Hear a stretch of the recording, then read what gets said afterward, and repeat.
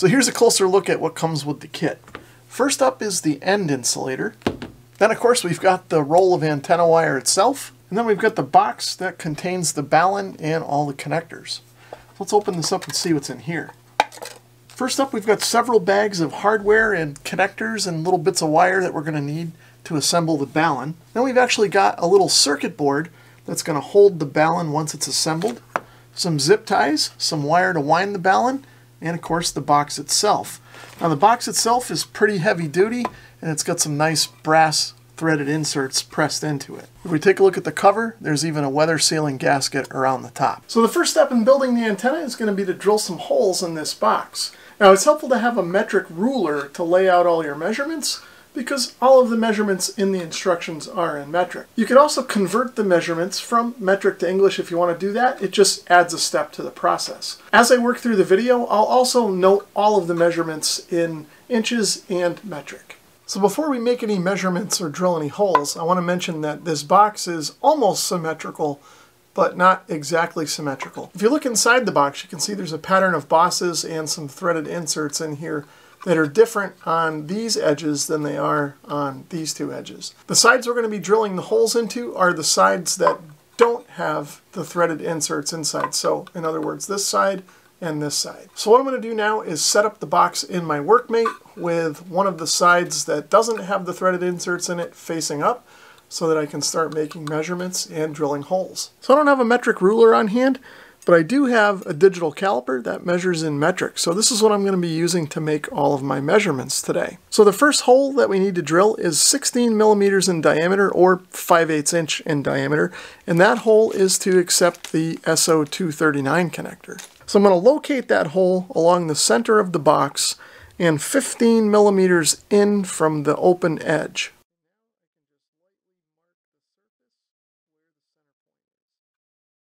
So now I'll use this center punch on the center line of the hole to make a little divot so that when I drill the hole, the drill bit doesn't wander too much. So now what I'm going to do is drill an eighth inch pilot hole on the center line.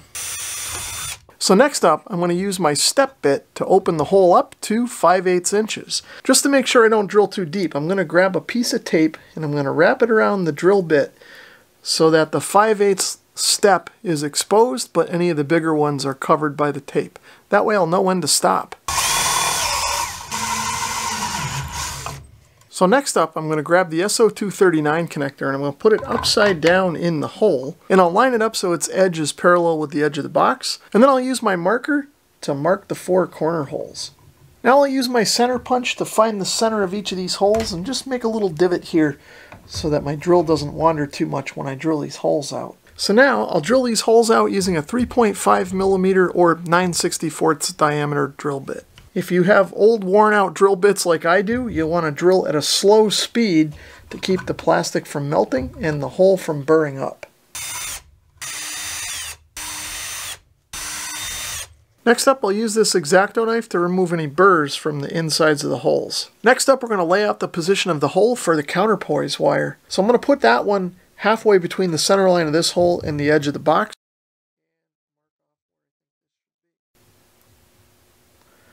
So just like before, I'm going to use my center punch and put a divot right at my center line. And now we'll drill a 5 millimeter or 13 64ths hole.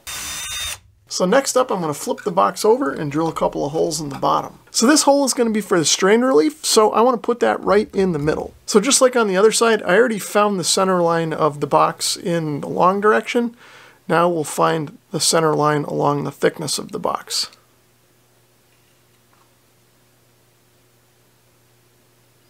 So now I'm going to mark off where I want to put the second hole for the antenna connection. So just like I did on the other side, I'm going to split the difference between the edge and the center line and put it right in line with the strain relief hole in the middle of the box.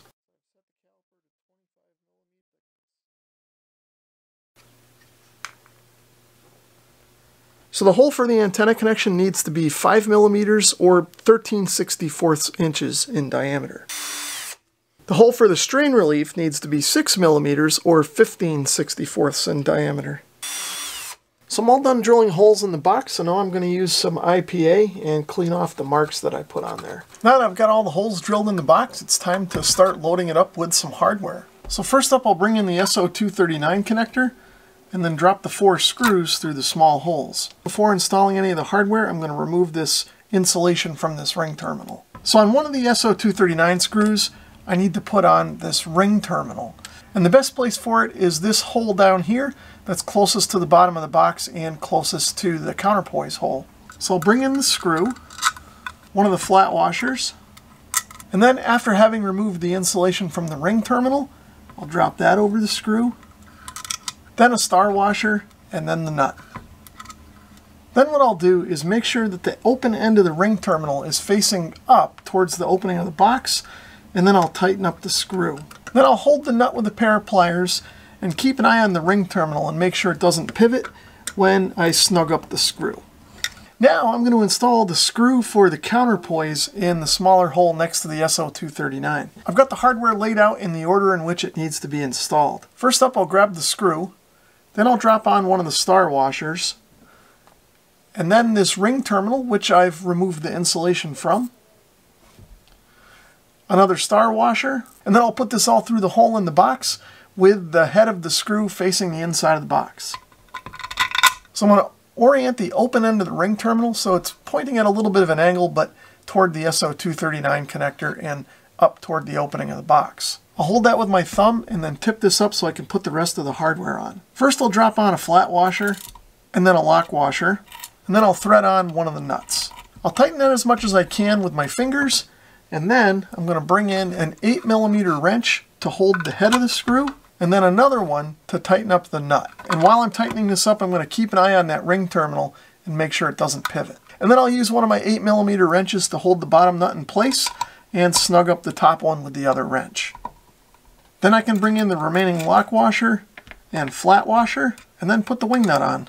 So now I'm going to install the hardware on the other side of the box. This strain relief hook is going to go in the bigger of the two holes, and this other lug, which is set up identically to the one on the top, is going to go in the smaller hole on the bottom. So once again, before installing any of the hardware, I'm going to remove this insulation from this ring terminal. Then I'll grab the screw, a star washer, the ring terminal, another star washer, and then install this in the box. This time I'm going to orient the open end of the ring terminal more or less straight up. Then I'll hold that with my thumb and I'll bring in the flat washer, a star washer, and then one of the nuts. And then bring in my 8 millimeter wrenches and tighten it up. Then I'll bring in the other nut and thread that down. Once again I'll hold the bottom nut with one of my wrenches and tighten the top one with the other. Now I'll bring in the remaining lock washer, flat washer, and the wing nut. Now I can install the strain relief eye hook. The first thing I'll do is remove the hardware that's on there. So now I'll just drop the eye hook into the hole, and then on the back side I'll put in the washer, the lock washer, and then the nut. And then I'll use a 10 millimeter wrench to tighten it up. So I'm going to grab the enameled copper wire here, and I'm going to measure out 20 centimeters or 7 and 7 eighths inches. And then what I'm going to do is fold it back on itself. So the total length will actually be 40 centimeters.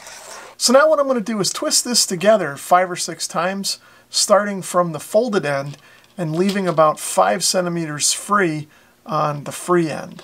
So now I'll grab the toroid and I'll slip the twisted end of the wire through until the point where the two wires come together is sort of at the edge of the toroid here. Now what I'll do is wind the twisted side twice around the toroid. So the rest of the windings on the toroid are going to be with the single wire. I'm going to make four more wraps on this side and then I'm going to cross over and do the rest of them on the other side. So I'm on the fourth single wire winding or sixth overall. I'm going to bring this one under the toroid and then through the middle. And then I'm going to go across to the opposite side of the toroid and start wrapping the opposite direction. Okay, so I've got all the windings done.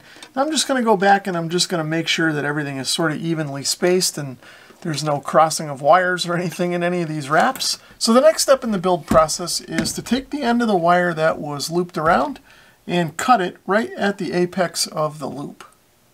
Next what I want to do is scrape off the enamel coating of the wire up here where the two wires come together near the base of the toroid. It's important to be sure that the enamel is completely removed from this area because the wires are going to be twisted and soldered together. And if there isn't a good connection here, the antenna won't work. Now that I have the enamel removed, I'm going to twist these wires together. So now while my soldering iron heats up, I'm going to add a little bit of flux to the wires to make it a little easier to solder. Now that that's cooled off, I'm just going to test this and make sure the wires are actually soldered together, and then we'll move on to the next step. So next up I'm going to attach the toroid to the mounting plate using the supplied zip ties. I'm going to orient this so that the side of the toroid with the three wires extending is on the same side as the word HF kits on the board. Furthermore, I'm going to orient it so that the single wire is pointing in the direction of the word HF kits.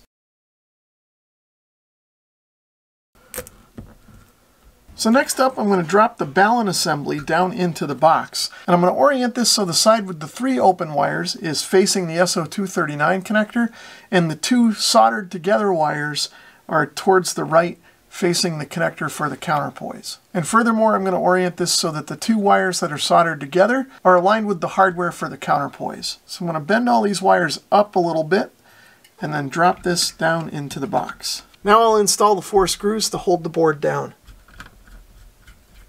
Now that everything's installed, it's time to start soldering some wires. So the first thing I'll do is get the wires bent and then trimmed to length so that they can fit in their respective ring terminals. So working on the SO239 side of the box, I'm going to take the two wires that are soldered together and I'm going to insert one into the ring terminal for the counterpoise and the other one's going to go into the ring terminal that's connected to the SO239 connector.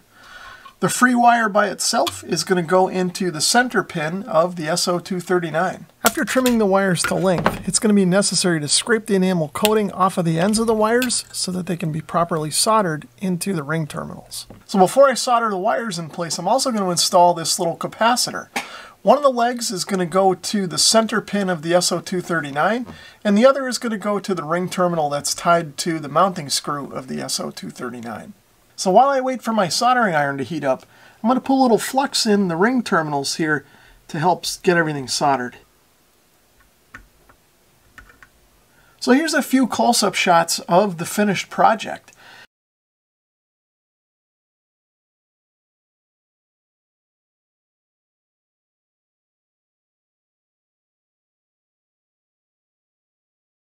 So the last thing to do as far as building the balun is concerned is to put the cover on. One thing to note about the cover is that it can only go on this way or upside down. It won't fit this way.